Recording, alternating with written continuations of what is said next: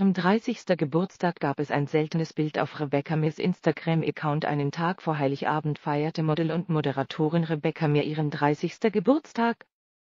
Zu diesem Anlass gewährte sie einen Blick auf ihren im April geborenen Sohn. 30.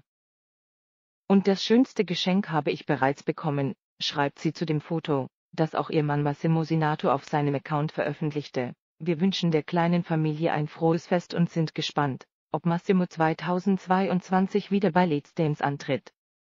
2021 setzte er wegen des Nachwuchses aus.